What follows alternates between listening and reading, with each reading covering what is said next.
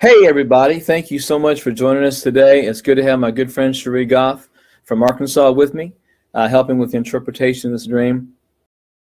Actually, Dana, my name is Windy, but please continue. And want to just say a couple things. First of all, I'm praying that God is raising up more and more dreamers. We need people dreaming.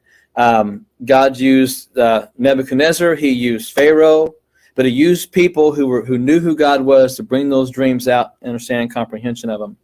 And I, I even I had three or four people today who have sent me and said I've had a dream, what should do with it? And I'm saying this: go to your social media, put it out there. It's not about going viral. It's not about getting everybody's attention. It's about being obedient what God's put on your heart. And if He shows you something, He is showing you that something so somebody else can see what's what's happening. I agree. If the Almighty shows us something, we're obligated to share it with others. People every day who will send me dreams and visions and things that they're hearing, and there is a there is a consistent weaving of the fabric. People are seeing the same things. People are seeing the same shaking and the same type of sifting and shifting in the country. Uh, I'm, I'm hearing consistent dreams of fire. Even this morning, I got about seven or eight different people who sent me dreams about fire. And so the dream that I'm sharing today had some fire in it. So I'm going to go ahead and share the dream real quick. It's a little bit longer because I had it Monday night, Tuesday night, Wednesday night, Thursday night, Friday night, Saturday night, Sunday night, and Monday night. Every single night I had a part of the dream, and that's never happened. This is very unusual for me, a little bit shifting with it. Uh, but I'm just going to go ahead and read the dream, and then going to do some interpretation. We'll talk about those things. Um, Dana, my name is Windy. You know, like the wind. Windy. But uh, I really believe that God's trying to still wake the church up. I will tell you this. I spoke to Stan Johnson. We are planning on doing another um, uh, September Solemn Assembly prayer event. We're not for sure yet, but uh, I had a great time there that last year 40 hours of prayer and fasting. And uh, we know the nation needs it. And uh, this is a calendar dream as well. It ends in September. And we had talked, and Stan will tell you, we talked about this two or three weeks ago. And so when I had this dream over the last couple of nights, or last the last week, I knew we need to do something with it. So we will be doing another September Solemn Assembly prayer event. Uh, details will be announced as soon as we get it figured out. But we need to pray for the country. And I pray that the church will see in this dream we need to wake up. So here we go. This dream went from 11, April 11th to the 19th. I saw a globe. It was sitting on a stand. No hand touched it or moved it, but it just began spinning on its own and accelerating at a very, very rapid rate, rate. And it began to wobble. It began to wobble on the stand. And there were two male runners who appeared on a running track. But this running track was just a straight track. It went on for miles and miles and miles. But between the two runners, there was a large wall, probably 20 feet high. So they couldn't see each other. They each had a spear with a fire like torch on the end that was burning very bright and the flames shot up from the tip. Now, it did not appear as if it was a torch or had fabric wrapped around it. It was just a sharp piece of metal that was on fire, and both runners had it. One was wearing a multicolored outfit, like you would see in the Olympics, and he was stretching and balancing as if preparing to run. The other one was wearing a solid white outfit, like a track outfit, but was not moving at all. he was standing in place almost without breathing. You would have swore the guy was a mannequin at first. A man then appeared standing on the wall above the runners in a very expensive suit jacket, but he was wearing runner's shorts underneath and uh, runner's shoes. So very, very strange looking outfit. And he carried a starter's pistol. And he said to the motionless runner wearing the white, he said, You must pace yourself and win. And at this, the runner simply nodded and cracked his neck. The man in the colorful runner's outfit was not addressed at all. The man then called out to your mark. And when he did this, the runner wearing the multicolored outfit took a running start and threw the flaming spear into the atmosphere. Just threw it in the air. Then he took his place at the line in the runner's blocks. the motionless man moved in position, but did not get down to the blocks, so almost like not an official start in that sense. But he leaned down, and he tapped the end of the spear into the ground, and then he spit on the flame, and it exploded. It exploded to the point that his hair caught on fire, but he was not hurt. His hair was burning, but like, like a burning bush, but he was not he was not hurt. And the man called ready. then he fired the pistol, and the two men took off. Now, one, the, the multicolored man, ran very, very quickly and very determined. The firing man just took off at a jog. And because of the wall between them, neither man could see the other. Then, then I saw a bright crimson red calendar with a crisp white letters that had a thick black outline on the letters, so they stood out, they were shadowed. And I saw May 2021 and two hands like this. Kind of like how your hands will just kind of unleashing something. And these two hands were unrolling this, they were holding on this blood covered calendar and they were rolling it out and down. And I saw June, July, August, and September. They were unrolled and they hung below May, and September was touching the ground. So he's standing here like this with these with the calendar in his hand, bloody, bloody hands, and the calendar's all the way down the ground from May to September, and September is touching the ground.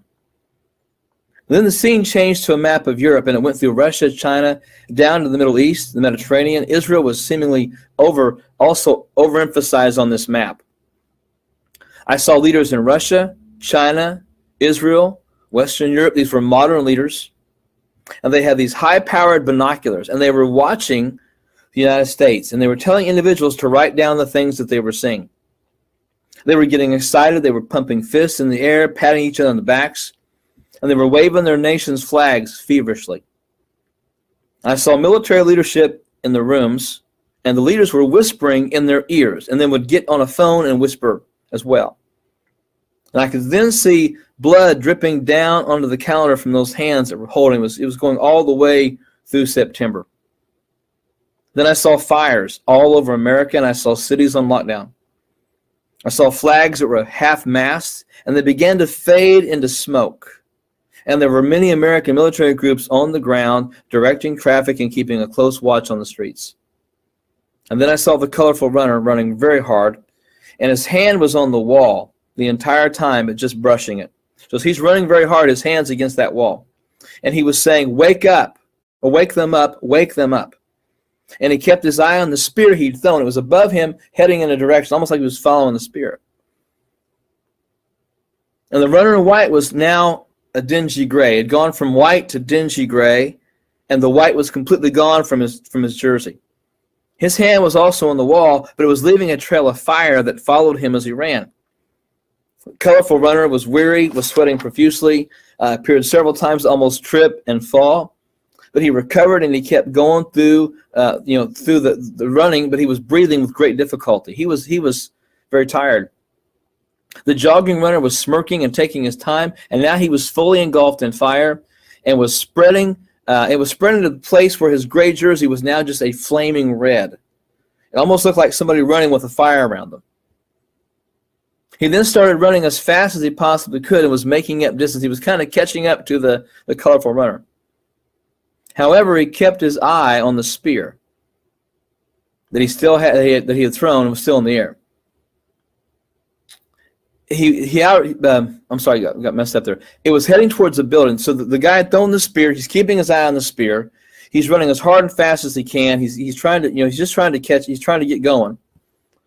He's watching that spear, and that spear was headed towards a building that seemed to be filled with people who were on their knees and they were praying loudly. And both runners kept moving with one spilling fire all the way along that wall. It's almost like a trail of fire behind him. Everything he touched was fiery.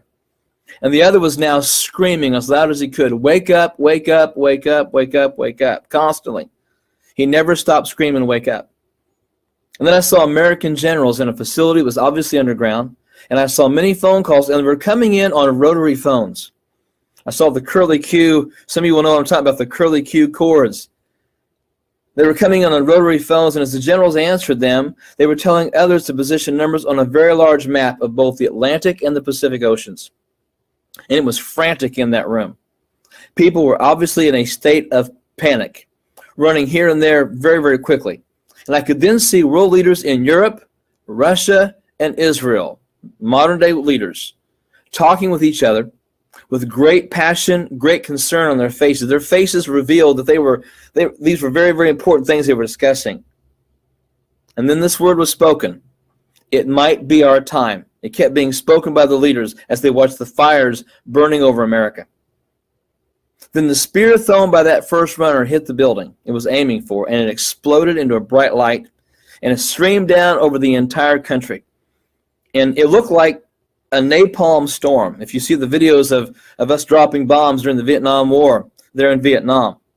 So it looked like a napalm storm. It filled the atmosphere of the United States. And as, as, as, the, as the fire from that building spread, it was putting out some of the fires in the United States. It lessened some and others, but in some it had no impact at all. Some of those fires kept burning.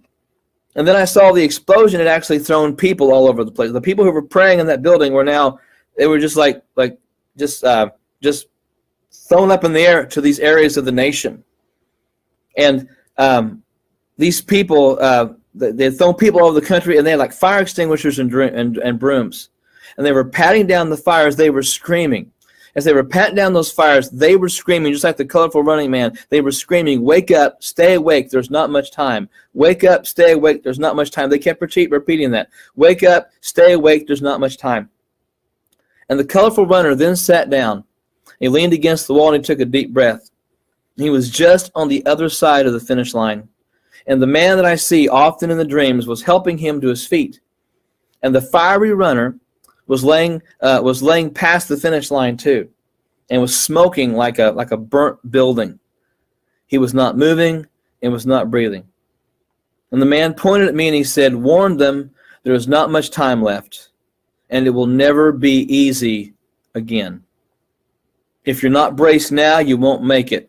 Not rooted, you will be pulled up, pulled out, and the fire will never go out. Look for me and endure till I come." And one other thing that's different about this dream is after usually that after the, the man speaks to me in the dream, uh, that's it. But I had another small piece, and this was Monday night. I then saw every one of those international leaders and American generals put down their phones at the very, very, very same time. And in unison, all at once, they said, It's time. It's time. Then they all sat, every single, the leaders, the military, they all sat at their desk and they put their heads in their hands like this and they began to weep. Thanks, Dana. I'll take it from here. Hey, everyone. Before I begin, I want to give a shout out to Cherie Goff for her dream interpretation. Us Southern girls need to stick together. If you would like to watch the original video, I've got a link in the description box. In the dream, Dana saw two runners. Each one is carrying a spear that is on fire. Although they are burning, the spears are not consumed by the flames. In a similar way, the great I Am used a burning bush that wasn't consumed to speak to Moses. Therefore, the burning spears represents the word of Yah, which lets us know that both of the runners are believers. In ancient times, runners were used to deliver messages. In fact, the origins of a marathon comes from the legend of a Greek runner who ran from a city named Marathon to Athens to deliver a message about the war. Because we have all been commissioned to share the good news of salvation, in a way, the two runners represent us. A long, straight wall marks the race course. The wall represents the straight and narrow path that we are supposed to follow as we live our lives. Grazing their hands across the wall, both runners use it to guide their path as they run the race. This lets us know that they are not casual Christians, both of them are devout believers. Although they are both devout believers, they have very little in common, and so the wall also separates them one from another. In the Bible, we learn that the holy should separate themselves from the unholy. At the beginning of the race, it's hard to know who is the holy runner and who is the unholy runner. As the race progresses, it becomes more and more obvious. One of the runners is wearing a colorful running outfit. And the other one is clothed in white. Even though Dana didn't specify which side of the wall each of the runners is on, I have placed them in their locations based on the details of his dream. As the race progressed, Dana almost always started talking about the colorful runner first. Because Dana is an avid reader, his eyes are trained to go from left to right. Also, because the colorful runner isn't carrying his spear during the race, he can easily graze the wall with his hand no matter which side of the wall he is on. However, the only way that the other runner can graze his hand along the wall while carrying the spear is if he is placed on the right side of the wall. Unless, of course, he is left handed. But because Dana didn't specify, I'm going to assume that the man is right handed like 90% of the population. Now, before I go any further, let's talk about first impressions. On the left, we have a colorful runner who appears to be representing the LGBT community. On the right, we have a runner clothed in white. According to the Bible, white robes are associated with being clean, pure, and holy. For those of you who are politically minded, the wall appears to be separating the liberals from the conservatives. But it's not. It's actually dividing the sheep from the goats, which is described in Matthew. When the Son of Man comes into his glory, and all the holy angels with him, then he will sit upon the throne of his glory, and before him all the nations will be gathered, and he will separate them one from another, like a shepherd divides his sheep from the goats. And he will set the sheep on his right hand, but the goats on the left. Based on our first impressions, it looks like the runner clothed in white is the guy we should be rooting for, but looks can be deceiving. We are seeing things from the starting line, but our Savior is located at the end of the race and sees things from a completely different angle.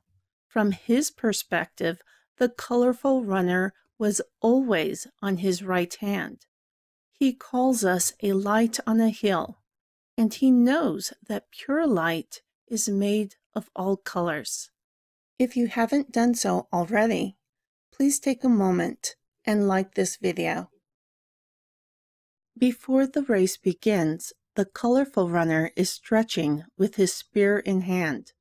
This symbolizes us building a relationship with the Almighty through prayer, Bible studies, and obeying the Holy Spirit. Some people might call this listening to their conscience. The runner clothed in white isn't doing anything to prepare for the race because he thinks it's not necessary. Dana saw a third man standing on top of the high wall. This man is wearing an expensive suit coat with running shorts and shoes.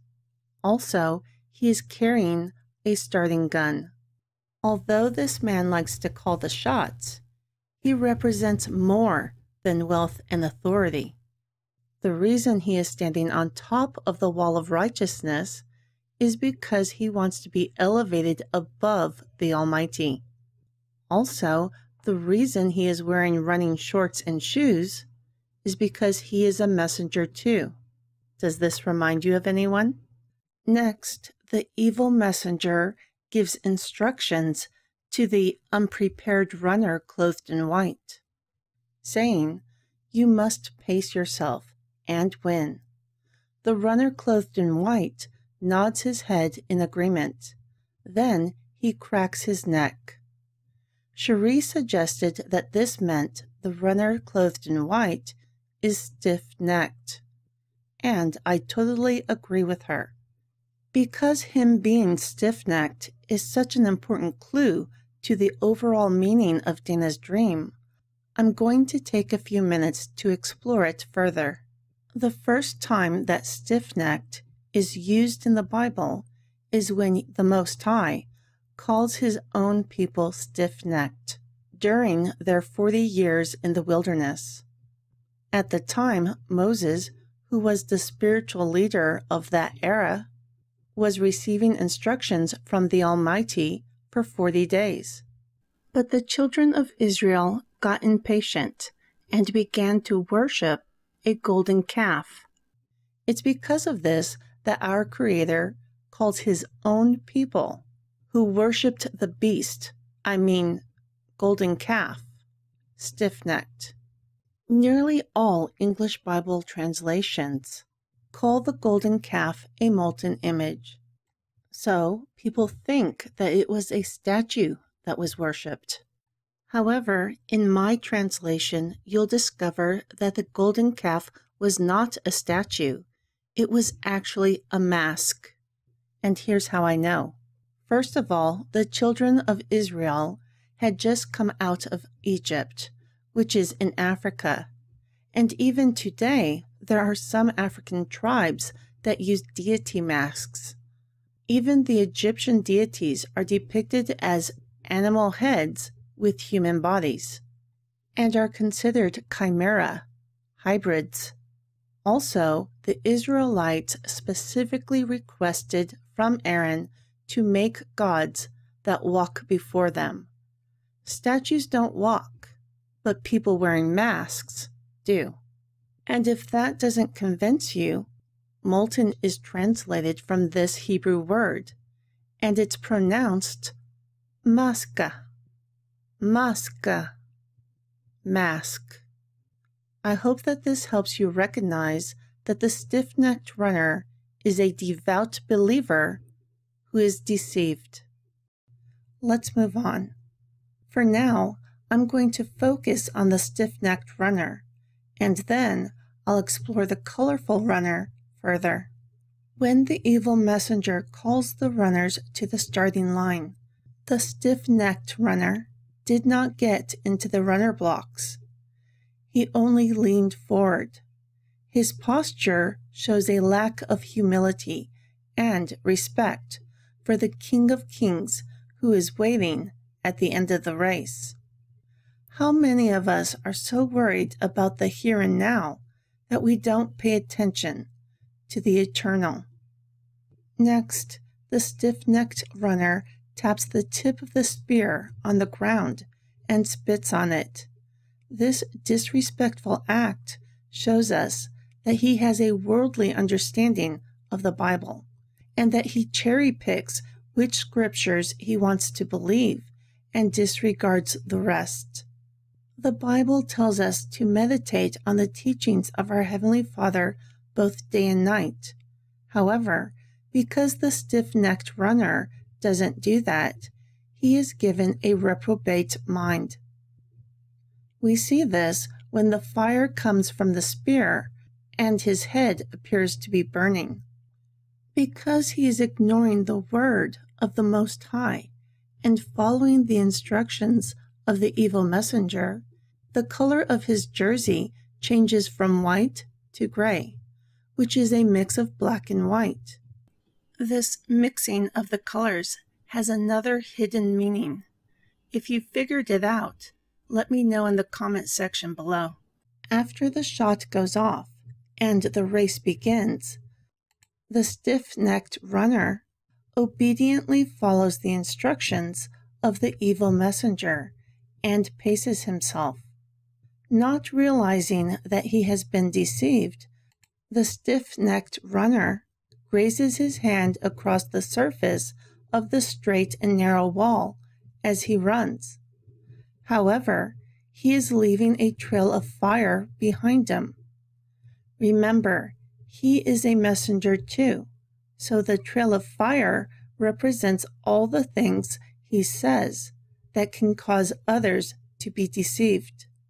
As the race progresses, he starts to pick up his pace, and his jersey changes colors again. It becomes red and appears to be burning. This is a consequence of his stubbornness, because he is unwilling to admit he was wrong. Then, when the race is over, we see the unrepentant, stiff necked believer lying motionlessly on the ground. His fate is obvious. Back on Mount Horeb, which means sword, by the way, our Creator was teaching Moses his guidelines when he noticed his people worshiping the golden calf. Not only did our Creator call them stiff necked, his wrath was kindled against them, and he threatened to consume them and make a nation out of Moses. So, am I suggesting that wearing a mask is going to land us in hell? No, but it is a clue that should not be ignored. Please take a moment to share your thoughts below. When I think about the colorful runner preparing for the race, I can't help but be reminded of Joseph with his coat of many colors. Not only was he a dreamer, he was gifted in interpreting the dreams of others. Joseph endured many hardships, which included being rejected by his family and even being thrown into prison falsely. Despite it all, he held on to his faith and remained loyal to the Almighty. Joseph recognized that he was being prepared for something great. After many trials and tribulations, Joseph proved himself. Then the Almighty lifted him up out of obscurity into a position of authority. In the end, not only did Joseph save his family, but he was able to save the entire region from destruction because they were willing to follow his instructions. When the evil messenger calls the runners to the starting line, the colorful runner throws his spear into the atmosphere. Unlike the stiff necked runner who sought a worldly interpretation of the Bible, the colorful runner seeks a divine interpretation of the Word. And unlike the stiff necked runner who barely leaned forward, the colorful runner gets all the way down into the runner blocks, humbling himself before the King of Kings, who is standing at the end of the race. Once the race begins, the colorful runner sprints as fast as he can while grazing the long straight wall with his hand. Also, he continues to look up and watch his flaming spear. If we follow his example, we will discover that the trajectory of the spear creates a rainbow. By the way, for those of you who don't know, the rainbow is not a symbol of gay pride. It represents our Heavenly Father's promise to never curse the earth again because of mankind. For a moment, let's explore why the Almighty was motivated to curse the earth in the first place. It wasn't wickedness. Wickedness has existed since Adam and Eve ate the forbidden fruit. During the days of Noah, people were marrying and being given in marriage, just like it always has been, with one exception. Our Bible tells us that the sons of God came unto the daughters of men and created hybrids. The Most High flooded the earth to wash away the corrupted blood. Being an obedient servant who waits for God's timing, the colorful runner begins to yell, Wake up! Wake them up! After the calendar scroll is seen. And he continues to look for divine instructions throughout the race as he watches the flaming spear travel. Once the spear hits its mark, it explodes into bright light. This bright light puts out some of the fires of damnation, but not all of them. The spear had targeted a building full of prayer warriors. Please note, Dana called it a building, not a church. Once they hear the colorful runner's message of hope and the light ejects them from their prayer closet, they are activated and forced into action. It is like the colorful runner had passed the baton as the prayer warriors carry his message out into the world and help put out the fires of damnation. At the end of the race, the colorful runner sits just beyond the finish line and is leaning against the long, straight wall. He is exhausted and winded. The stiff necked runner isn't touching the wall anymore. He was listening to the world and not the Almighty. Because of this, he has lost his way, and his fate is sealed. Then the man who represents the King of Kings helps the colorful runner to his feet. Could this rising up be a clue about the rapture? Maybe. But nobody knows the day or hour of his return. And we should always be in a state of preparedness. Or could the colorful runner being helped up be more like the story of Joseph? and the Almighty is about to raise a person up out of obscurity into a position of authority. Time will tell. I want to save the warning that was given at the end of the race for the end of this video. For now, let's talk about the calendar scroll. Dana dreamt that two hands unrolled a long five month calendar that touched the ground. This short scene is so complex that I think it's best to get the obvious out of the way. The calendar is seen after the race started. The race is actually a lot longer than five months. However, world events are going to intensify during these five months. Also, with the Middle East lighting up like a Roman candle, there is going to be bloodshed during these five months. Now that we have the obvious out of the way, let's dig deeper. Unlike Dana's other calendar dreams, this calendar is a scroll. Because the Holy Scriptures were originally written on scrolls, we are being prompted to look into the Old Testament to help interpret this dream, which I've done. Also, the five months is a clue that we should focus on the first five books of the Old Testament, known as the teachings of Moses, which I have done. Now let's explore the hands with blood dripping to the ground. After the Almighty cleansed the corrupted blood from the earth with the flood, he told Noah that life was in the blood, and that he required blood from the hand of every man. With modern technology, blood can tell us a lot about a person, from their sugar levels to their ethnicity. Also, blood contains our genetic code, which helps make us who we are.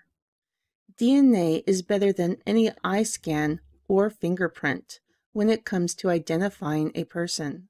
Those who alter their DNA are no longer made in the image of our Creator. They are unnatural, an abomination. They have lost their identity. I cannot overemphasize this. Please, please, please, do not let anyone peer pressure you into altering your genetic markers. Before I get a bunch of ugly comments about DNA manipulation not being the mark of the beast, because it has nothing to do with the hand or forehead, let's explore what the Old Testament says. You might be surprised to know in Exodus, the Almighty decreed that all the firstborn would die, except for those who had the blood of the Passover lamb on the lintel and posts of their door. Later on, he talks about those who were redeemed as having something that is like a mark on their hand and frontlets between their eyes.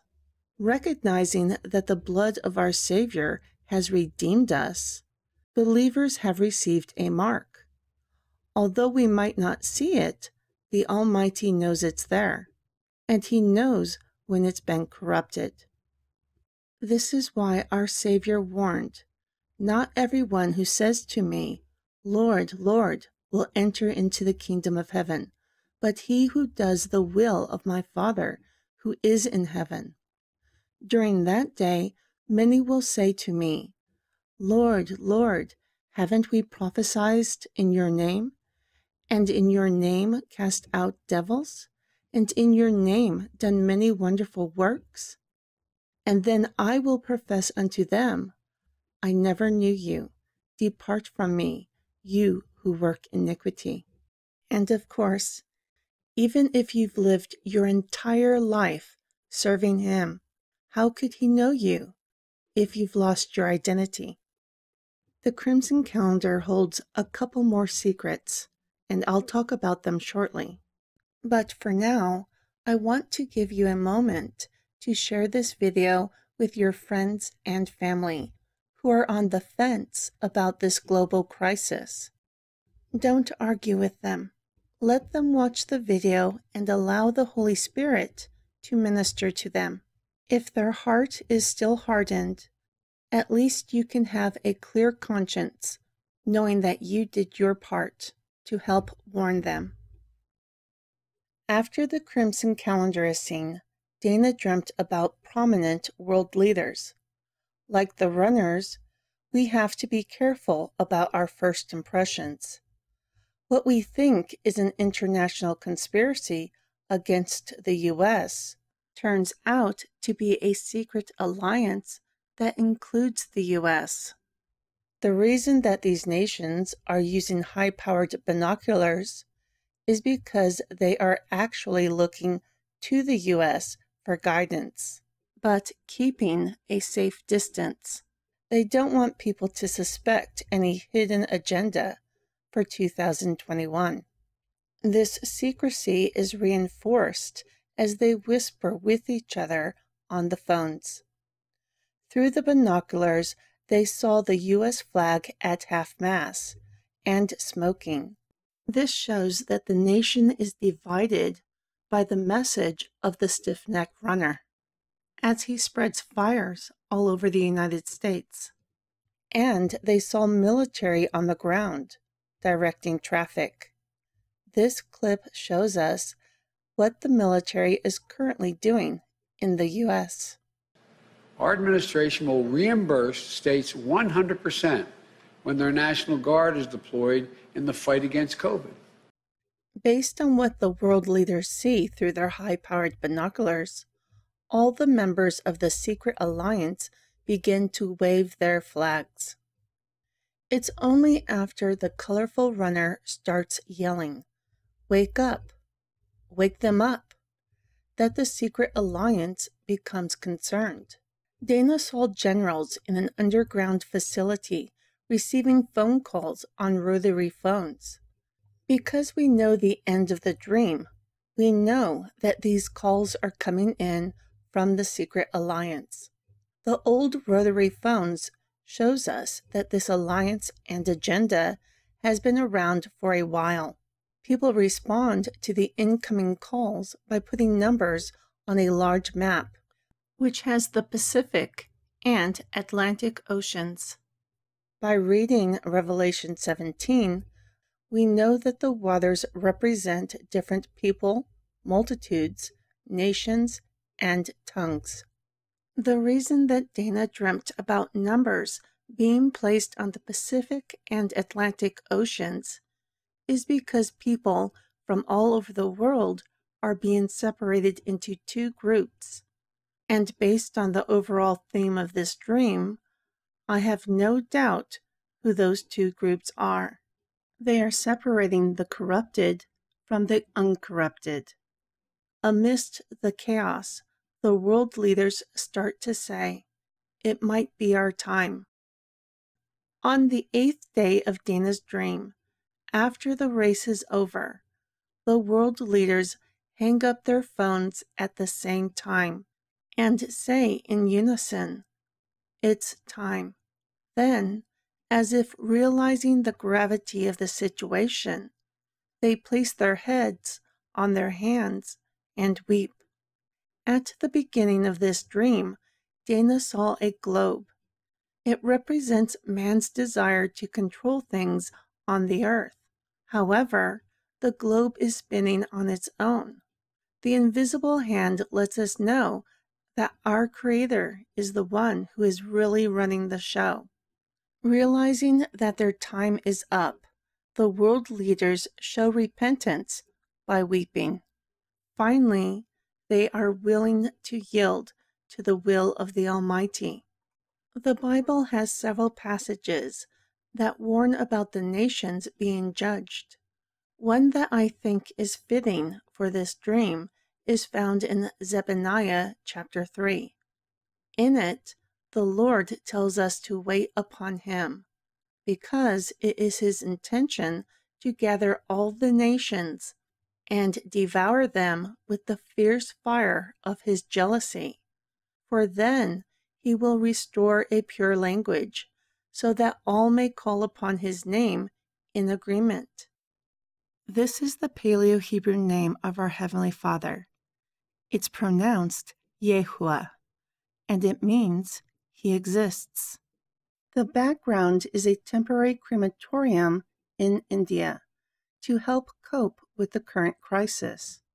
There's an idea out there that there are many ways to get to heaven, but I can tell you that no one is more prepared to cope with these trying times than those who keep the commands of our Heavenly Father and carry the testimony of his Son.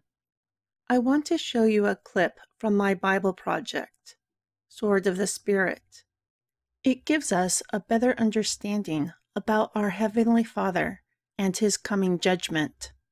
You can find it on my YouTube channel called Out of Darkness.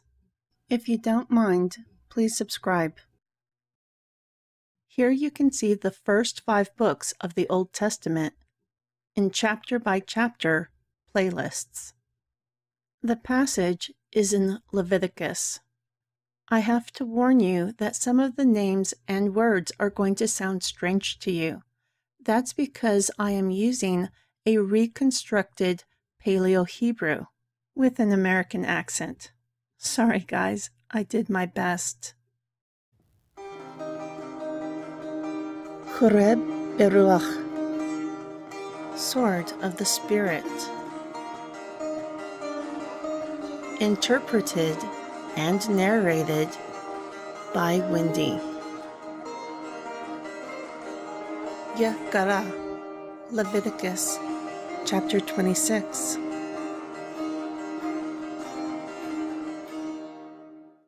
You will make yourself no idols, nor graven image nor will you rear up a standing monument, nor will you set up any stone image in your land to bow down to it, for I am Yahweh, your Elohim.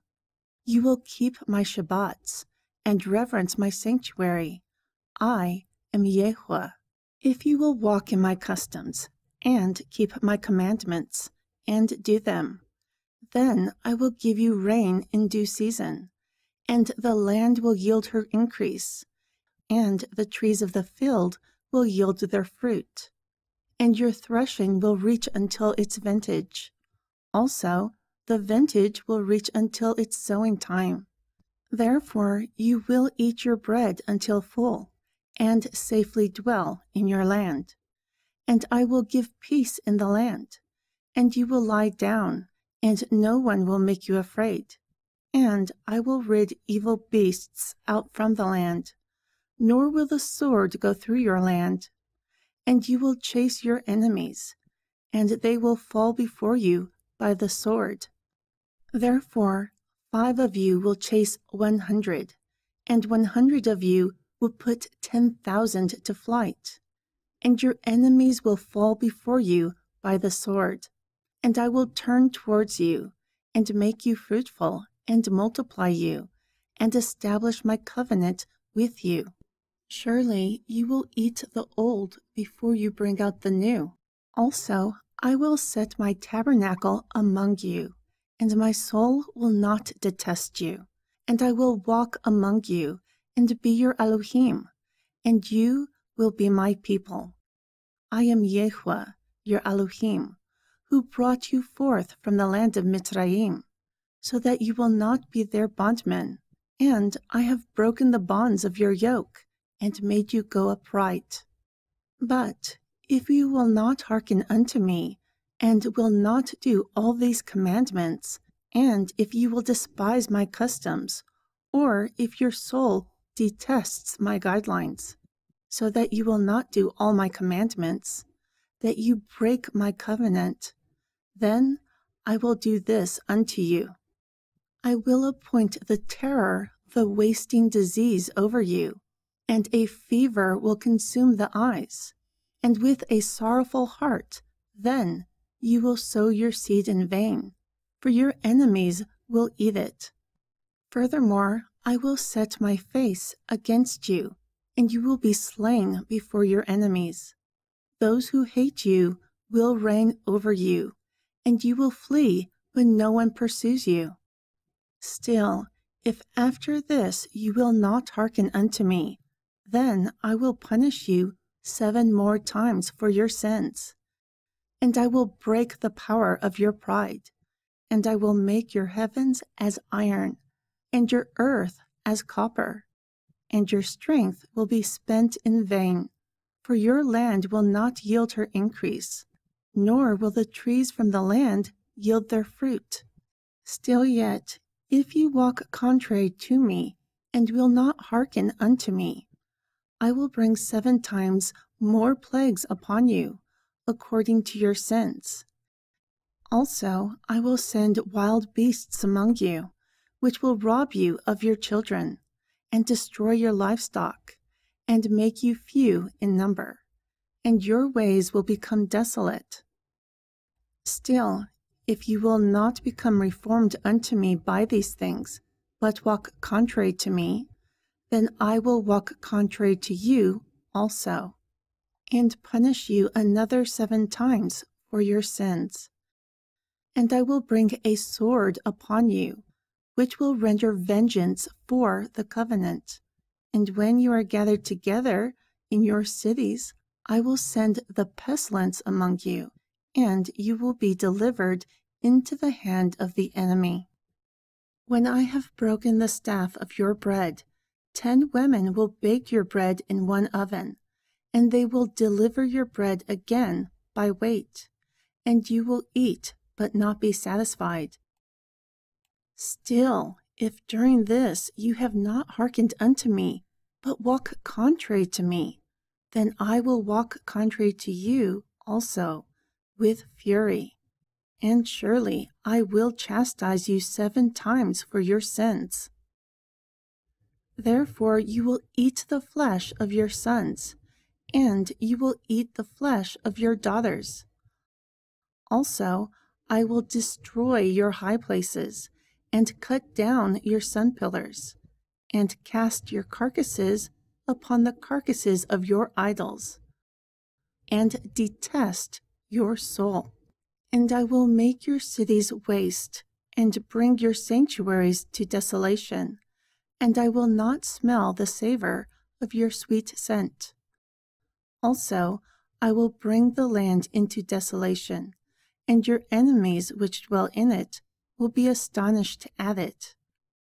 And I will scatter you among the nations, and draw out a sword after you. Then your land will become desolate, and your cities waste. Moreover, the land will enjoy her Shabbats, as long as it lies desolate, and you are in the land of your enemies. Then the land will rest and enjoy her Shabbats. As long as it lies desolate, it will rest, because it did not rest during your Shabbats when you dwelt upon it. And upon those who are left of you, I will send a weariness into their hearts in the land of their enemies and the sound of a shaking leaf will chase them. And they will flee as if fleeing from a sword, and they will fall when no one pursues. Also, they will fall one upon another, as if they were before a sword, when no one pursues, and you will have no power to stand before your enemies. Therefore, you will perish among the nations, and the land of your enemies will consume you. And those who are left from you will rot away in their iniquity in the lands of their enemies. Also, they will rot away in the iniquities of their fathers. If they will confess their iniquity and the iniquity of their fathers with their trespass, which they have trespassed against me, also that they have walked contrary to me, and that I too have walked contrary to them, and have brought them into the land of their enemies. If then their uncircumcised hearts are humbled, then I will accept the punishment of their iniquity. Furthermore, I will remember my covenant with Jacob, and also my covenant with Yitzhak, and also my covenant with Abraham. I will remember, and I will remember the land. Also, the land will be left of them, and will enjoy her Shabbats, while she lies desolate without them. Therefore, they will accept the punishment of their iniquity, for surely they despised my guidelines, and because their soul detested my customs.